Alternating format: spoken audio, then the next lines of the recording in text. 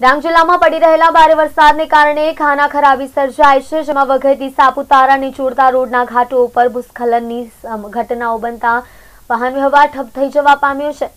Saputara road પર અનેક સ્થળોએ મોટી શિલાઓ અને માટીની ભેખડો તેમજ વૃક્ષો ધરાશાય થઈ જતા રાષ્ટ્રીય ધોરીમાર્ગ બંધ થઈ જવા પામ્યો છે, જેને કારણે મહારાષ્ટ્ર તેમજ સાપુતારા જઈ રહેલા લોકો મુશ્કેલીમાં મુકાયા છે. ઘાટના રોડો પર શિલાઓ અને માટીઓ ધસી પડવાથી વાહન વ્યવહાર ઠપ થઈ જવા પામ્યા છે